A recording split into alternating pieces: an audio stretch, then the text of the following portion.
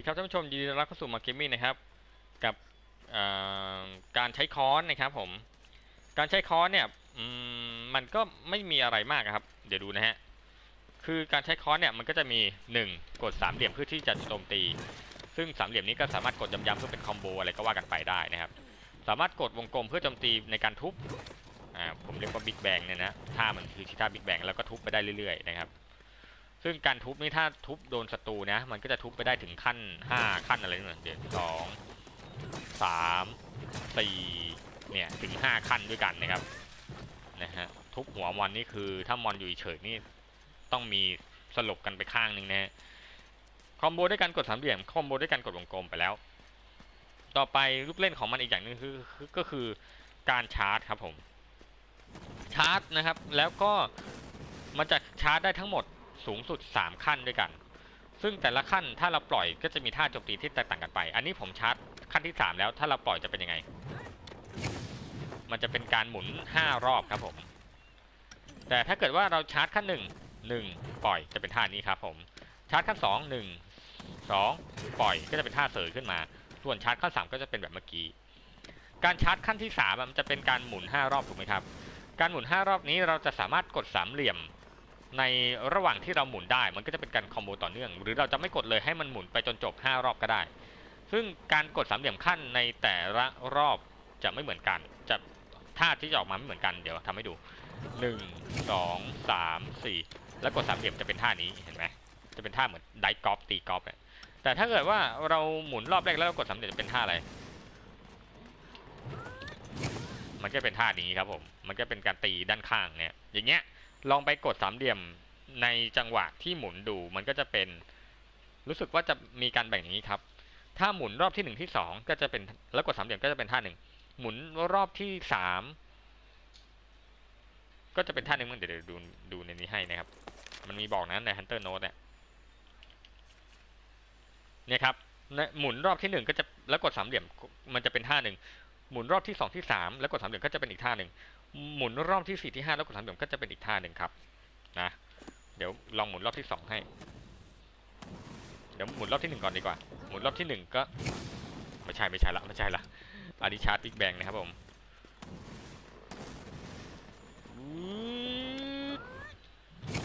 ชาร์จบิ๊กแบงอีกแล้วกดสามเหลี่ยมเร็วไปยังไม่ทันหมุนเลยนะชาร์จบิ๊กแบงก็เท่นะเมื่อกี้นี่คือรอบที่หนึ่งนะครับผม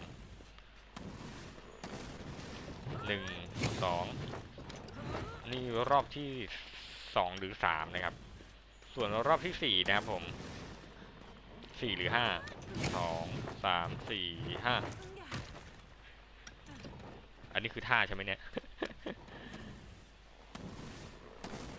หรือผมกดไม่ทันสองสามสี่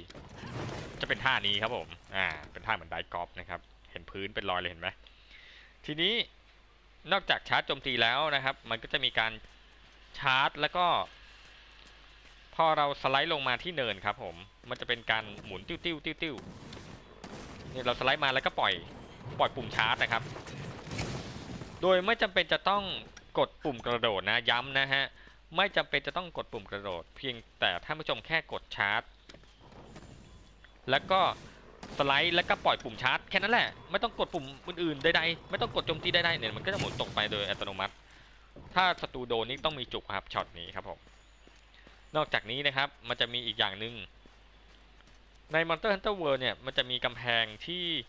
เป็นกำแพงที่มันไม่ได้เอาไว้ให้เราไต่อะกำแพงที่ให้เราไต่ก็จะเป็นกำแพงที่มันเป็นถาวรนี้ใช่ไหมแต่กำแพงที่ไม่ใช่ให้เราไต่แต่มันจะมีลูกเล่นเป็น เป็น texture เป็นลวดลายเป็นอะไรเงี้ยอย่างอันเนี้ยมันเป็นเห็ด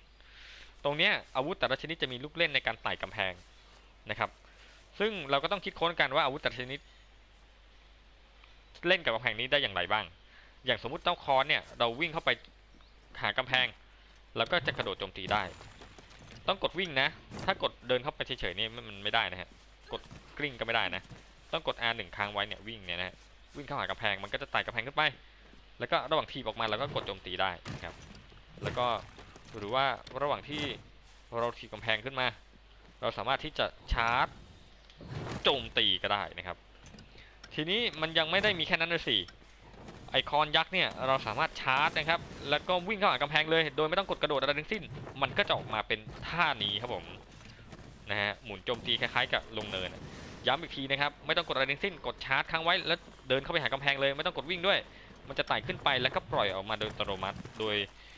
เราไม่ต้องปล่อยปุ่ม R2 เลย มันปล่อยของมันเองนะครับผมง่ายๆ อย่างนี้แต่เท่สุดๆ ถ้าใครได้เห็นนี่โอ้โหต้องมีการตะลึงนะครับไอ้นี่ใช้คอนได้เทพจริงๆนะฮะจริงๆ แล้วการกดโคตรง่ายนะฮะเพียงแต่เรารู้เทคนิคว่ามันต้องใช้กับกำแพงนี้ ใช้กับกำแพงอื่นไม่ได้นะครับเดี๋ยวผมลองให้ดูอ่าผมชาร์จเข้าไปกำแพงนี้ ไม่ได้นะครับ ชาร์จเข้าไปกำแพงนี้ที่เป็นทาวันเห็นไหมไม่ได้นะครับผม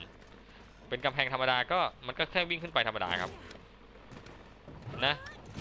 ไม่ได้นะครับผม มันต้องเป็นกำแพงเฉพาะจริงๆนะครับ นอกจากนี้นะครับจะมีอีกสิ่งหนึ่งที่มันเป็นท่าพิเศษเลยของคอนเท่านั้นที่ทำได้คือ ระหว่างที่เรากดชาร์จครับผม เราสามารถที่จะกดวงกลมได้เขาเรียกว่า power charge เนี่ย power charge เนี่ยครับ เดี๋ยวนะ เวลาเรากด R 2 ค้างใช่ไหมคือการชาร์จ แล้วเรากดวงกลมมันจะเป็นท่านี้ฮึอย่างเงี้ยนะฮะ ซึ่ง power charge เนี่ยมันคืออะไร power charge เป็นการชาร์จพลังให้กับคอนของเรา แล้วเราสังเกตที่คอนเนี่ย จะเห็นว่ามันจะมีออร่าสีแดงๆแล้วเห็นไหมกระพริบกระพริบเนี่ย นี่คือออร่าที่จะทำให้คอนของเราเนี่ย เพิ่มพลังโจมตี และเพิ่มโอกาสที่จะสตัน เออ คือเพิ่มความแรงในการสตันมอนนั่นเองนะครับ ซึ่งออร่าเนี่ยจะอยู่ตลอด จนกว่าเงื่อนไขตามต่อไปนี้ 1. เมื่อเราเก็บอาวุธ 2. เมื่อเราโดนโจมตีจนเราชะงักหรือกระเด็นนะ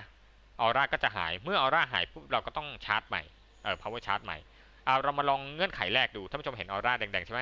ดูซิว่าเงื่อนไขที่ผมพูดเนี่ยจริงหรือเปล่า เงื่อนไขในการเก็บอาวุธแล้วมันจะออร่าจะหายจริงหรือเปล่าเดี๋ยวผมจะเก็บอาวุธนะครับเนี่ยเห็นไหมออร่าหายละ อเราชักออกมา มันก็จะเป็นคอนธรรมดาไม่มีออร่าเห็นไหมครับ แล้วก็ต้องชาร์จใหม่ แล้วกดวงกลม ไม่ต้องขั้นสามก็ได้นะ ชาร์จขั้นหนึ่งก็ได้ แล้วก็กดวงกลม แล้วก็จะเป็น power charge แล้วนะครับ พอ power charge นี่ก็ไปบู๊ไปอะไร แล้วก็เราก็พยายามอย่าให้โดนโจมตีแบบจนกระทั่งเรากระเด็นหรืออะไรก็ตาม ทีนี้เรามาทดสอบว่าที่เขาบอกว่าถ้าเกิดเรากระเด็นแล้วก็ออร่าจะหายจริงหรือเปล่า อะ เรามาทดสอบกัน นี่คอนแดงอยู่นะตอนนี้ อ่าอันนี้ผมกระเด็นละ มาดูออร่าซิว่าออร่าหายไหมเห็นไหมท่านผู้ชมคอนเป็นปกติละไม่มีออร่าแดงละงั้นแสดงว่าที่เรารู้ข้อมูลมาว่า ถ้า power charge เนี่ยที่ทำให้ค้อนแดงเนี่ย มันจะหายก็ต่อเมื่อเราเก็บอาวุธ แล้วก็เมื่อเรากระเด็นนั้นเป็นสมมติฐานที่ถูกต้องครับ ดังนั้นจะเห็นว่าในการที่ใครก็ตามที่โซโล่ ค้อนเนี่ยนะในการสู้มอนเนี่ยเขาจะหนึ่ง เน้นตีมอนที่หัวเพื่อให้ stun ถูกไหมสองก็คือใช้ power charge เพื่อให้เกิด stun ได้ง่าย เมื่อมอน stun ได้ง่ายหมายความว่ามอนก็จะแบบล้มหรือ stun แล้วเราก็จะสามารถโจมตีมันอย่างต่อเนื่องนะครับสามเขาก็จะใส่ชุดที่หนึ่งเพิ่มโอกาส stun สองเพิ่ม damage สามอาจจะหา skill ที่ทำให้เราโดนโจมตีแล้วก็ไม่กระเด็น หรืออาจจะใช้ผ้าคลุมก็แล้วแต่ที่เราจะโดนมอนโจมตีแล้วก็ไม่กระเด็น เพราะว่าถ้าเราไม่กระเด็น ถึงแม้ว่าเราจะโดนแล้วเลือดลด แต่เราไม่กระเด็นเนี่ยออร่านี้ก็ยังอยู่ เมื่อออร่ายังอยู่เนี่ย เราก็จะ stun มอนได้อย่างต่อเนื่อง นึกออกไหมฮะ ผมเชื่อว่านี่คือสิ่งที่ผู้ใช้ค้อนเขาคงจะพยายามที่จะ combo skill เหล่านี้นะครับ เพื่อที่จะใช้ค้อนในการ stun มอนได้อย่างมีประสิทธิภาพสูงสุดนะครับ ประมาณนี้นะฮะ ลูกเล่นของค้อน พอรู้ลูกเล่นเหล่านี้แล้วอยากจะเล่นค้อนขึ้นมาทันทีเลยใช่ไหม ผมเองก็เช่นกันนะครับ รู้สึกว่าอืมันก็มีดีของมันนี่หว่าอะไรเงี้ยเราไม่รู้นะครับผมเราเพิ่งมารู้ตอนนี้แหละ ผมก็เพิ่งศึกษาตอนที่มาทำคลิปอธิบายท่านผู้ชมนี่แหละนะฮะเพราะผมก็ไม่ได้ใช้อาวุธทุกชนิดอย่างคล่องนะฮะเรื่องมาศึกษาเพื่อที่จะมาอธิบายท่านผู้ชม หวังว่าทำให้ท่านผู้ชมที่สนใจเล่นคอนนะครับมีอะไรล่ะเคลียร์มากขึ้นนะครับ ว่าเจ้าคอนเนี่ยมัน มันต่างจากอาวุธชนิดอื่นยังไง และมีข้อดีข้อเสียยังไงนะครับ เออ เจ้าคอนนี่มันไม่สามารถตั้งการได้นะครับ ดังนั้นก็จะต้องระมัดระวังนิดนึงในการที่จะดูแลตัวเองนะครับ หวังว่าคงมีประโยชน์นะครับ คลิปนี้ สวัสดีครับ